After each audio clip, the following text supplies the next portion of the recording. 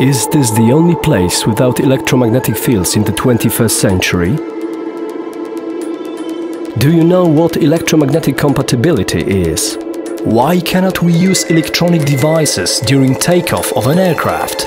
Why do we hear a buzz from the speakers when talking on a mobile phone? Because we are often faced with a lack of electromagnetic compatibility. Is only the desert the last place free from electromagnetic waves in the world today?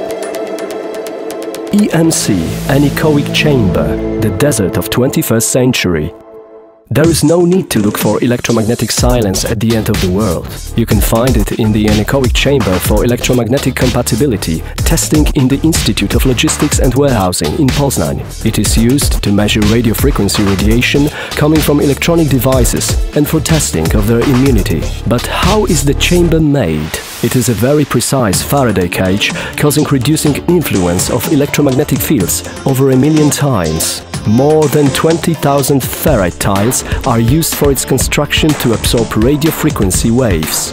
500 foam absorbers filled with graphite are installed on the walls. Its total weight is 20 tons. The tests in the anechoic chamber and on the other test setups are the basis for drawing up a declaration of conformity with new approach directives of the European Union.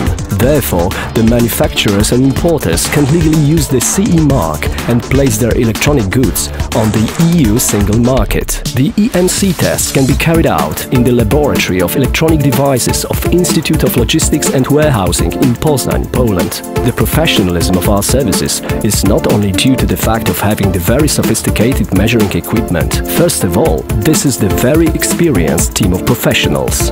If you are a manufacturer of electronic devices, we will be happy to help you to get on the Polish and the European market. All the questions asked here will be answered by contacting us.